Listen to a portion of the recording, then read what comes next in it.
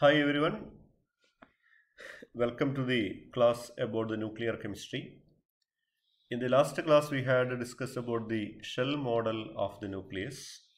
Today in this video uh, we are going to study about the liquid shock model of the nucleus. Okay. Actually uh, it is a statistical model developed by Niels Bohr, Wheeler and Frenkel. Okay, uh, in this model, we are considering nucleus as a whole. We are not considering the individual nucleon. In the we know that in the shell model, we consider the properties of individual nucleon, their distribution differentials like that. Here, we are considering nucleus as a liquid drop. That is a collection of a large number of particles in a small volume. Okay, and nucleus as a homogeneous entity in which all the particles distributed homogeneously.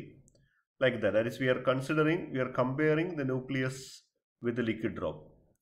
And we know that the interaction force between the nucleons is a short range one. Short range. And it is charge and spin independent. Okay. That is nucleon interact with all the nucleons nearby it. Okay only the nucleons nearby that is a nuclear force is only nuclear interaction only short range.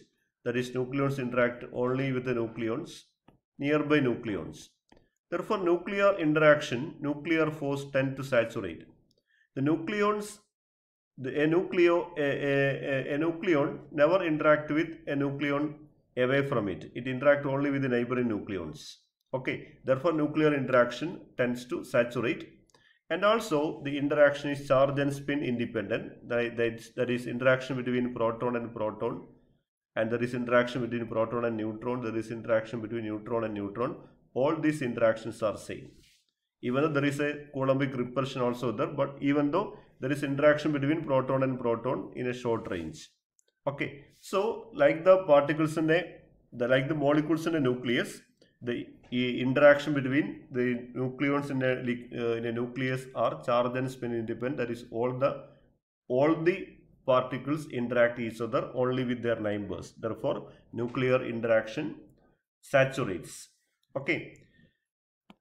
And there is uh, and also one thing is the energy of interaction is a continuous function of mass and hence number of nucleons. Okay. Therefore uh, the nucleons interact only only with these neighbors okay and these nuclear interactions are charge and spin independent. Therefore energy of interaction is a continuous function of mass and hence it is a uh, continuous function of number of nucleons. Okay. And we are going to discuss about what are the similarities between a nucleus and a liquid drop the first point is like the particles in a liquid drop there are large number of particles. Okay in in uh, in the case of a liquid drop there are large number of molecules. Like that in the case of a nucleus there are large number of nucleons. That is the first similarity. And second one is the nucleus is homogeneous and in, incompressible like the particles in a molecule. Uh, that is the charge density and all other properties of the nucleus are same throughout. Okay throughout the drop and throughout the nucleus except at the surface boundaries. This implies that nuclear volume uh, nuclear volume is proportional to mass that is proportional to a. Okay uh, hence radius of the nucleus that is nuclear volume is equal to we can say 4 by 3 pi r cube is proportional to a. Therefore r is proportional to a raised to 1 by 3 or r is equal to a constant r0 into a raised to 1 by 3 that is nuclear radius is proportional to a raised to 1 by 3 r0 is a constant and its value is around 1.2 to 1.5 Fermi and this is the expression you have studied in the your lower classes. That is the nuclear radius r is equal to a constant r0 into a raised to 1 by 3 that is nuclear radius is proportional to mass number raised to 1 by 3 okay. And next uh, the interactional energy is proportional to a. And that is a nucleon interact only with its neighbors okay. Therefore therefore the interactional energy saturate interactional energy saturate therefore it is proportional to a.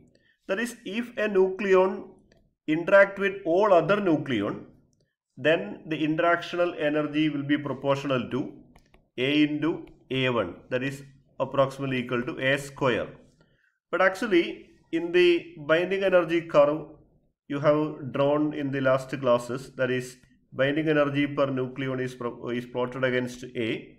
We get a value around 8 a constant value around 8 that is binding energy per nucleon is proportional to a. That means a nucleon interact only with its neighbors not with all the nucleon. We know that nuclear interaction is short range one therefore only the neighboring nucleons can interact therefore interactional energy will be proportional to a not a square. If if all the nucleons are interacting then it will be a into a, a minus 1 then will be proportional to a square. But actually we know that the interactional energy of the nucleon is proportional to a. That is experimentally proven. That means only the neighboring nucleons can interact like the molecules in a liquid drop and that is a, another similarity. And uh, energy level of the nucleus we are considering energy level of the nucleus as a whole. Okay like the energy levels of the nucleus of a liquid drop. Okay next is evaporation of liquids from the surface can be compared with the uh, emission of nucleons from the nucleus. Uh, in small energy reactions nucleons can be emitted from the uh, nucleus. That that can be compared with the evaporation that is when a nucleus is absorbing a particular amount of energy. This energy is distributed by all the nucleons very rapidly. Like the, the if the energy is absorbed by a liquid drop the energy is spread by or shared by all the all the molecules. Like that if a nucleus absorb energy it share all the energy into all the nucleons and it become a compound nucleus. Compound nucleus okay and this energy and this excess energy uh, can be lost by lose uh, emitting some nucleons like evaporation of liquid drops. Okay and the last one the splitting of a large liquid drop into smaller ones. If I if you consider a, a, a very large uh, drop of a mercury liquids mercury then by disturbing it will be split into smaller drops okay and like that a smaller droplets may combine to form a larger one and this is in similarity with nuclear fission and nuclear fusion. In nuclear fission, a bigger nucleus when disturbed by thermal nucleons or energy, it will split into smaller ones. Like smaller nucleus may combine to form a larger one. In all this process are exoenergic, energy is emitted in large amount and it is compared with the uh, liquid drop. Okay, and these are the main similarities between a liquid drop and a nucleus. So in this model developed by Niels Bohr, we are considering nucleus as a liquid drop. Okay, one of the main merits of liquid drop model are we can explain uh, nuclear behavior of nucleus in the excited state. That is its a reaction, thermal reaction, its nuclear fission, nuclear fusion and these are the properties taking place in the excited state. That can be very well explained by the liquid drop model uh, whereas in the uh, shell model, actually shell model is applicable only in the nucleus in the ground state. But liquid drop model can be applied nucleus in the excited state. It provides mechanism for low energy nuclear reactions. Okay, and nuclear fission and fusion can be explained very well explained by the liquid drop model. Compound nucleus theory uh, as, as a result of this liquid drop model. And another important application of the liquid drop model is the binding energy calculation. Calculation of binding energy by a scientist called uh, Weizsäcker developed an equation based on the liquid drop model by statistical calculation to calculate the binding energy of the nucleus. That is very important application of new uh, liquid drop model and we are going to discuss that equation, binding energy equation. Okay, calculation of binding energy and this equation is called semi-empirical mass equation. Semi-empirical mass equation. As I told, this equation was developed by Weizsäcker. Okay, we know that the mass of an atom that is mza can be calculated as it is equal to um, z into mass of hydrogen plus uh, n into mass of neutron minus delta m. Okay, that is z is the number of protons into mass of proton. That is mass of hydrogen is mass of proton actually. So number of protons into mass of proton plus number of neutrons that is n into mass of neutron minus delta m. And delta m we know this is the mass defect during the formation of the nucleus. Okay, and we have studied that the binding energy is equal to uh, you have studied in the uh, in the basics of nuclear chemistry that it is equal to 931 into delta m million electron volt. So if we know the binding energy, we'll, we will get the value of delta m. From this value of delta, we can calculate the atomic mass or the nuclear mass, mass of the nucleus. Okay, so an semi-empirical mass equation was developed to calculate the binding energy, calculation of binding energy. Actually, in this equation, the binding energy is divided into five terms. And the first term is BV and that is a volume term or volume energy. Second term is BS that is called uh, surface energy. And uh, third term is uh, the pairing energy BP that is called uh, pairing energy. And the fourth term is B asymmetric. Or asymmetric energy. Asymmetric energy. And the last term is BP and that is pairing energy. So in this way the binding energy equation can be split into five separate equation or can be written as the sum of the five terms.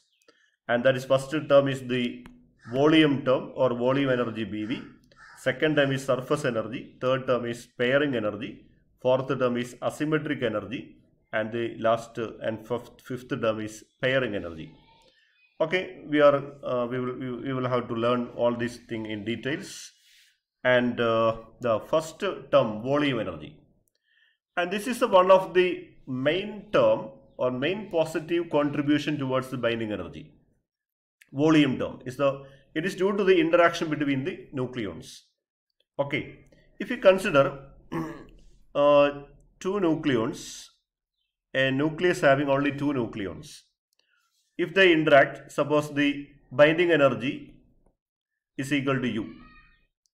So binding energy per nucleon is equal to binding energy per nucleon is equal to u by 2 okay and if we consider a, a bigger nucleus or a nucleus having uh, uh, more number of nucleons then a nucleon is surrounded by actually 12 nucleons. Okay. If you can you, you know that in solid state a sphere uh, in the arrangement of spheres the coordination number that is number of uh, particles touched by a particular sphere is equal to 12 okay so the binding energy of the central nucleon central nucleon is equal to 12 binding energy of the central nucleon. Binding energy per nucleon center nucleon is equal to the, we know that binding energy per nucleon is a single for in the case of two nucleon or interaction between two particles is equal to u by 2 okay so interaction is 12 this is equal to 12 into u by 2 that is equal to 6u Okay, that is binding energy per nucleon of the center nucleon is equal to 6u. And we know that all these nucleon touches other 12 nucleons. Okay, therefore the binding energy per nucleon if there are a number of nucleons. We have a number of nucleons for a single nucleon at the center is equal to 6u. If there are a nucleon then binding energy per nucleon binding energy is equal to uh, sorry this is not binding energy per nucleon binding energy for the central nucleus nucleon is equal to 6u. So the binding energy of a number of nucleons is equal to 6u into a. Okay, and we know that binding energy, the U is the interaction between two particles and that is a constant and 6 is a constant. So binding energy is proportional to A. So the volume term that is a main contribution due to the interaction between the nucleon is equal to, we are it as BV, it is proportional to A or we can write BV is equal to a constant AV into A. Okay, and this is a main positive contribution towards the binding energy due to the interaction between the nucleon. And as we already uh, told you that the nuclear nucleon interaction saturate and it is proportional to number of nucleons. Therefore, BV is proportional to A or BV is equal to a constant AV into A. Okay, follow, can you follow me? And this value of AV is around, there are different values are there actually you don't want to study all these values actually its value is around uh, 13.1 million electron volt okay and the next term is surface energy. Okay. And in the in the in the case of a nucleus at the core of the nucleus we are considering all the particles are at the core then it is surrounded by 12 nucleons. But if we consider a nucleon at the surface okay in the center it is there is interaction from all side. Therefore there are 12 interaction. But in the surface only half of interaction there as in the case of a molecule a particle in the or nucleon in the bulk of the nucleus therefore as due to the surface uh, energy term the binding energy will be less okay we are considered in the first case we are considered all particles are interacting with same number of nuclei, that is 12 nucleon. But actually molecules in the surface, sorry, nucleons in the surface has less interaction. So there is a negative term due to, due to the surface tension and it is proportional to surface area. So the uh, surface energy term Ps is proportional surface area and we know that uh, surface area is equal to 4 pi r square and that is equal to 4 pi and we know that r is equal to r0 into a raised to 1 by 3. So 4 pi into uh, r0 into a raised to 1 by 3 raised to 2. That is surface area is proportional to and these are all, are all constants. It is proportional to a raised to 1 by 3 raised to 2 that is a raised to 2 by 3. So we can say surface energy term is proportional to that is more the surface area okay higher will be the surface energy so we can write Bs is equal to, it is a negative term because of surface uh, term, binding energy decreases. That is higher the surface area, lesser will be the binding energy. Okay, so it is a negative term, Bs is equal to minus a constant As into A raised to 2 by 3. Okay, and this is the second term. First term is volume term, that is a positive term. That is a main contribution to binding energy. That is equal to AV into A. Second term is due to surface tension or surface area. Surface particles in the surface are not interacting with as many particles as the as in the case of particles in the bulk of the nucleus. So there is a lesser interaction uh, by the by the particles in the surface. So their contribution will be less. So we have to reduce that term that is Bs is equal to minus a constant As into A raised to 2 by 3. The value of constant As is around 14 million electron volt. And uh, the next term is Coulomb energy. Okay, even though there is stronger attractive interaction between protons and protons, there is also repulsive interaction. But attractive interaction is higher, uh, almost uh, 100 times higher than the repulsive interaction between the proton in the, in the very close range or the short range.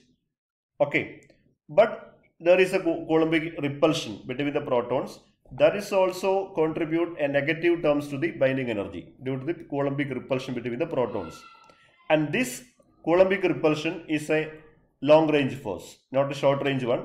The attractive force between protons is a short range one. But coulombic repulsion it is a coulombic interaction therefore this is not short range almost uh, uh, all the protons can interact can repel therefore there are if there are n uh, z proton if there are z proton then number of interaction between uh, that is an a, a particular proton can interact all all other protons. Therefore total number of interaction will be z into z minus 1 by 2 okay. And coulombic energy we know that charge of a proton is equal to e. Okay. That is if we two proton interact this energy is equal to e its energy also equal to e. Okay. So total number of interactions is equal to z into z minus 1 by 2 because each proton can interact with all other proton because it is a uh, coulombic re repulsion. Therefore all the protons can interact. Therefore total number of repulsion is equal to z into z minus 1 by 2 into e square divided by the distance between two proton and all other protons. We can take the average distance between the protons. And actually that is proportional to uh, radius of the radius of the radius of the nucleus. So e square divided by r. So the coulomb term bc we can write and these are constant. Okay a constant a p into z into z minus 1 this e square is also a constant that is included that is absorbed in this constant. So z into z minus 1 and this r is equal to we know that r in r0 into a raised to 1 by 3 and this r0 is constant also included in this constant. Therefore it is equal to z into z minus 1 divided by a raised to 1 by 3 and this value of ap is around 0.595 million electron volt. Okay and that is a coulombic term. And the next term is asymmetric energy. It is also a negative term. Oh, sorry uh, the, this term is also a negative term because coulombic repulsion due to the repulsion binding energy will decrease so it is also a negative term. And next term is asymmetric energy. Asymmetric energy means we know that okay uh, asymmetric energy term we have studied that um, if we plot n against p n against p for stable nuclei this is n by p is equal to 1 but actually the actual graph you see is look like this. Okay. That is uh, around uh, number of protons is equal to around 20 n by p ratio is equal to 1 number of that is neutrons and protons are equal. But as the nucleus become more bigger or as the mass number increases n by p ratio increases that is there are more number of nucleons than protons. Okay. But actually the most stable condition is equal to z is equal to n.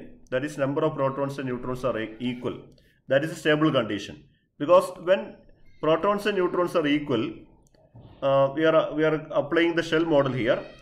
The distribution of particles in these shells in their shells is like this so if there are six protons and six neutrons okay we know that in the shell model neutrons and protons have separate shells. Okay they are distributed like this. This is the most stable condition. But if the if n is greater than such that is if we if we have uh, four protons and eight neutrons and these neutrons are arranged in higher energy levels. Okay and this will make higher energy contribution by the nucleons. Okay. And that will result the result in a decrease in binding energy. Okay. And this is actually due to the asymmetric distribution of nu nucleons. Actually in the ideal condition when n equal to z like nucle nucleons and uh, neutrons and protons and neutrons are distributed in the same energy levels. Okay, almost same energy level. So that is an ideal condition. But if there are more number of neutron, there is, there is an excess neutron, there is an asymmetric distribution. That is, protons are actually in lower energy levels. Okay, or we can say uh, this was the ideal condition. Okay, if this uh, actually in this case there are six protons and six neutron. Here four protons and uh, eight neutron. We are considering uh, both of them have same number of A. That is 10. This is equal to 12A. This is also 12A. Okay, they are isobaric nucleus. But actually this is in the ideal condition. In this case, we are converting two neutrons into, sorry, two uh, protons into neutron. Okay, from this we are uh, converting two protons into neutron. Then distribution become asymmetric. Okay, that will result in asymmetry and negative contribution to binding energy. And that will be proportional to that contribution to the binding energy. That is, we can say B asymmetric. It is uh, proportional to difference in the protons and neutron that is equal to n minus z. Okay. Or we can say it is equal to a minus 2z okay because n is equal to a minus z. Okay n is equal to uh, n we can write okay that is uh, n n already we know this is equal to a minus z Therefore, n minus z we can write a minus z minus z that is a minus 2z. So this asymmetric term B asymmetric is proportional to this difference in or, or we can say the excess neutron, number of excess neutron that is equal to a minus 2z. Okay, actually by the calculation of this energy by converting these two protons into neutron actually in this case, these two protons are converted into neutron that from the ideal case to the actual case. Okay, so it is proportional to a minus 2 z square. That is a calculation I am going to uh, not going to uh, explain more details. Actually, equation become a minus 2 z square into difference in between the energy levels. And this difference between the energy levels, actually it is proportional to difference between the energy levels E. And this difference between energy level is inversely proportional to A. Because when A increases, that is when there is more number of nucleon, the packing or the difference between the energy levels will be less. Okay, but if there are lesser neutron, that is when A is less, the energy difference between the uh, energy levels are bigger. That is from the calculation of shell model. So asymmetric energy B asymmetric is proportion is equal to a constant a asymmetric. Okay A asymmetric into A minus 2 z square divided by A. And that is asymmetric term. I am writing here that is B asymmetric is equal to a constant A asymmetric into A minus 2z square divided by A or we can try A raised to minus 1 okay but here A minus 2z is the excess neutron. Okay, then the proton. Number of neutron higher than the proton that is excess neutron and a minus 2z square into the difference between the energy level and this difference between energy level is inversely proportional to mass number because for higher mass number difference between energy levels will be or energy levels will be closely packed. So difference decreases. So it is inversely proportional to mass number. So it is a raised to minus 1 and that is asymmetric term and the last term that is pairing energy and we have studied in the case of shell model that nucleus with the even Z and even N are more stable than nucleus with the even Z and odd N or odd such even N and which is more stable than odd z and odd n.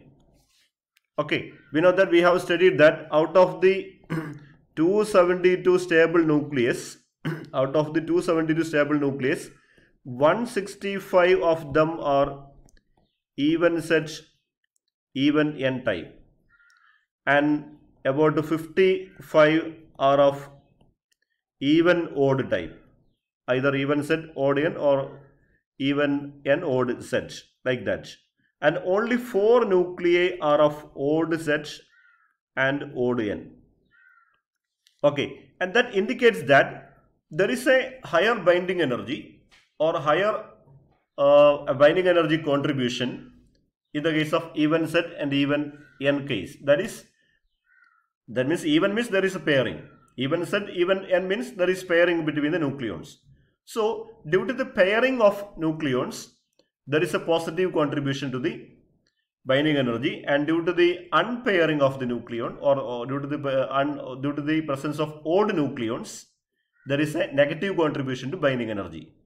Okay, but if one of them odd, we can cancel it. If one either even Z odd n type or odd Z even type, even n type, one is n, one is even, one other is odd. Therefore, they are cancelled. So in the case of even Z even n type, there is a positive contribution to the binding energy.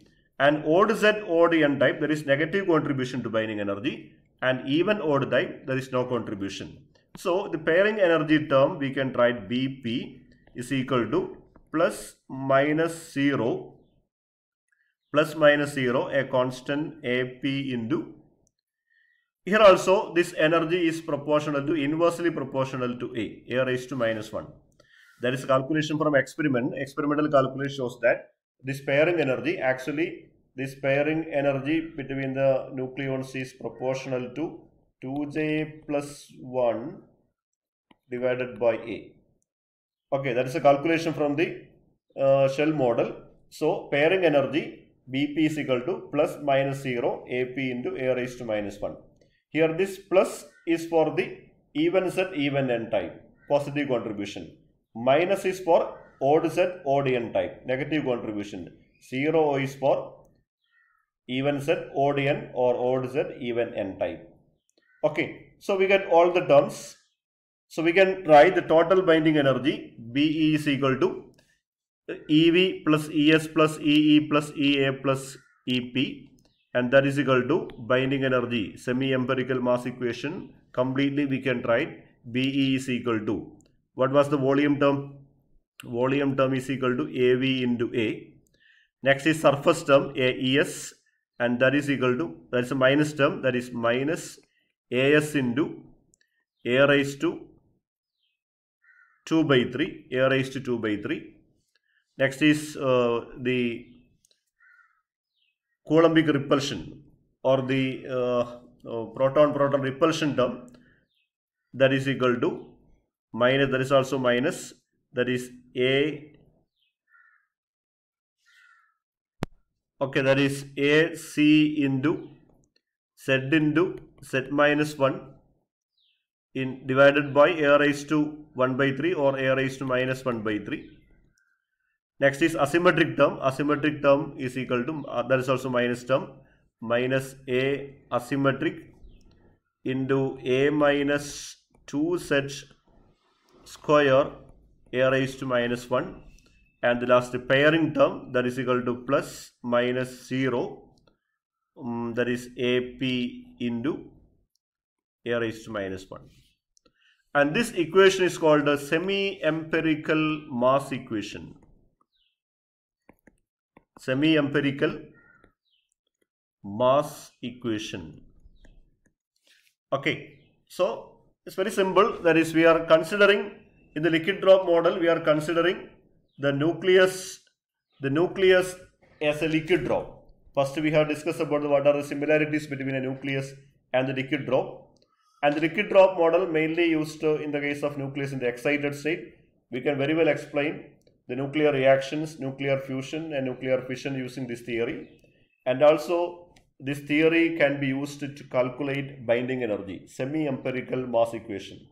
Okay, in semi-empirical mass equation, we have divided into five terms, that is volume term, that is the main positive contribution. Next is surface energy term, next is Coulombic term and asymmetric term and pairing term.